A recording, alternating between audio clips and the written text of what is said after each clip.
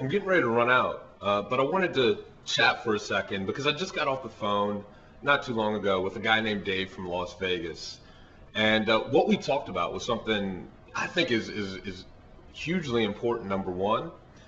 And number two, it's one of those things, it's one of those like, you know, mind shifts, one of those things that you got to change to get right in your business. Dave was brand new to the internet and he was going over some of his plans in terms of what he wanted to do in his business.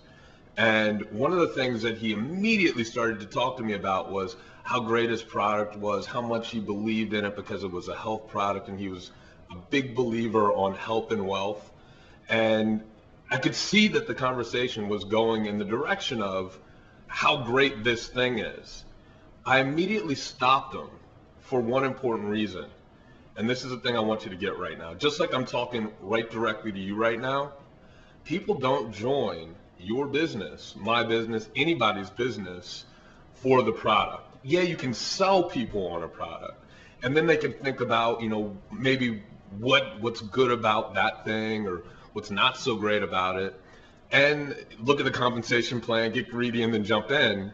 But the number one driver, the number one thing that's going to make you successful over the long haul is realizing that people don't join companies they join people. And in fact, there's been a dynamic shift in the way that the network marketing world, world works now. And the, it's important that you know this. Now with the internet, the ability to go out and advertise globally within minutes, you, I, any of us can get massive exposure. And what that does is that shifts up, if, if we're smart enough to see it, it shifts the relationship between us and our company and the reps we bring into a company. In the past, our whole purpose was to drive the downline growth in a particular opportunity.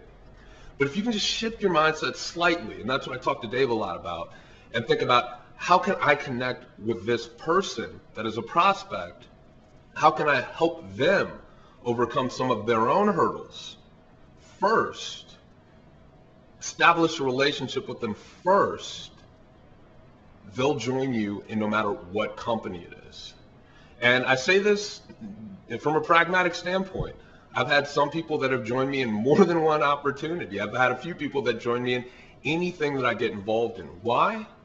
Because my business isn't about this company or this compensation plan or how much you can make in this business.